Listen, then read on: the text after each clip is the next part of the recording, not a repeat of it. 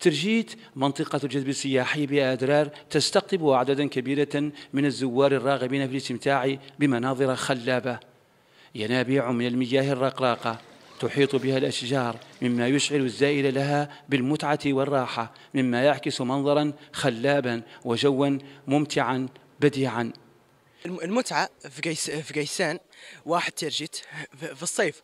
هو هو اولا بسبب الخدمات الممتازة اللي تعدل فيها وثانيا بسبب جوها الممتاز وثالثا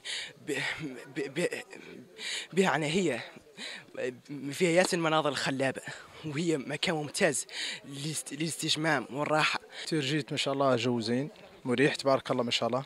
المناطق يلا تعود الناس كاملة تزورها. كي ترجيت وكيف الوديان كاملين اللي اللي ما شاء الله مريحين فيهم الراحة تجبر فيهم الراحة وسياحيين.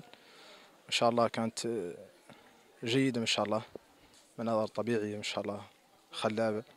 عائلات تتوجه إليها بأبنائها وآخرون يختار الرفقة بعيدا عن ضوضاء المدينة ورتابتها بحثا عن الاستجمام في كنف جو الطبيعة الآسر. جيت أنا وجماعة معايا والتركة الحمد لله. وزين عندهم ما شاء الله منتزهة هذا اللي قالوا ترجيت.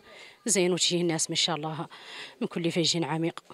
وراجي لهم التوفيق إن شاء الله. الناس هي هون جاية مقيطنه وفيها سكانهم اللي قاطنين هون في المنطقة. أنا جاية اليوم هون أنا وطافلات معايا. نتنزهوا ونشوفوا هذه المناظر الخلابه وهذا المياه الجارية اللي عاطي مولانا. الزينه اللي ما عندها اللي اللي مثلا جايبها مولانا.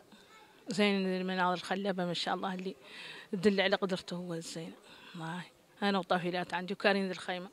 معدلين حالتنا فيها. خدمات المختلفة تقدم حسب الطلب للوافدين وهو ما يعود بالنفع على سكان الواحة. البلاس متكابرين.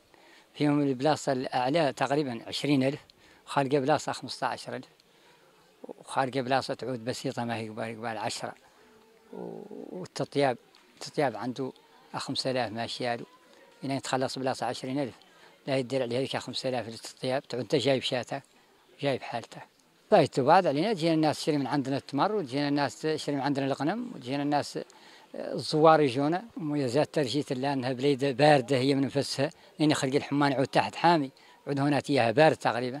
الناس تجي تقيل هناك ما تحس بالشمس ولا تحس بالحمان ولا تحس بالحرارة. بليدة زينة. وبذلك تعد واحة ترجيت إحدى أهم مناطق الجذب للزوار نظرا لما تتوفر عليه من مميزات جمالية وطبيعية خاصة المياه المتدفقة بين الصخور وبساتين النخيل. الفاغة الشيباني قناة الموريتانية واحة ترجيت.